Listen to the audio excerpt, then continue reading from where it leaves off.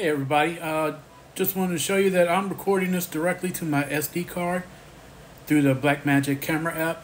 Uh, the only minor detail is this is an iPhone 12 Pro.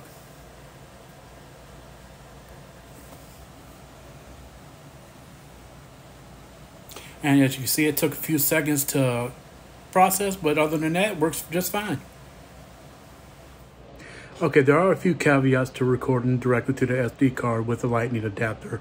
Uh, one is for those who are able to record in ProRes, that's a no-go. The transfer speed is just not fast enough. But uh, if you're doing uh, HEVC or even older iPhones, H.264, uh, you should be fine. Again, this is I recorded in 4K HDR uh, on H.265 and had absolutely no issues.